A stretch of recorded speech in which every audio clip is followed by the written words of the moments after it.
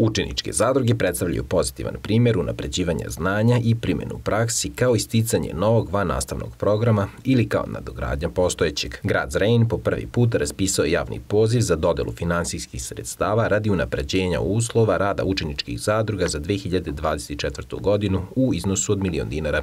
Pa pre svega dijalogom sa školama, sa rukovodicima škola, sa, a na osnovu odluke Saveta za obrazovanje došli smo na ideju dakle, da podržimo, pojačamo, da napravimo jednu podršku onim školama koje gde postoje đačke, đačke zadruge, ali takođe dakle da im podržimo i damo podršku kada je u pitanju osnivanje novih đačkih zadruga.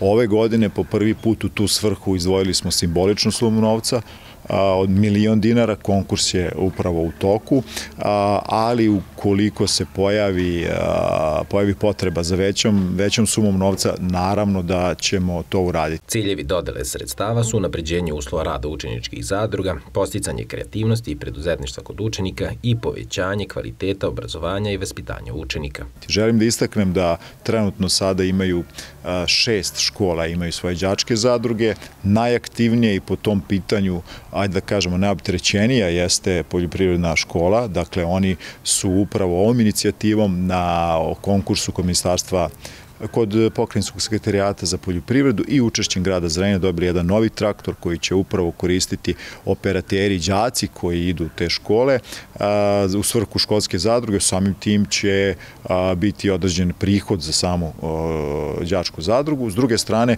takođe kod njih potpisali smo protokol za dane piva vezano za proizvodnju kraft piva, dakle mini pivara koji će se nalaziti u poljoprivrednoj školi okru đačke, iste đačke zadruge. Verujem da ćemo za naredne dane piva imati, imati proizvod iz te đačke zadruge. A koji će opet biti, da kažem, na ponos jedinice kada je u pitanju proizvodnje piva u našem gradu.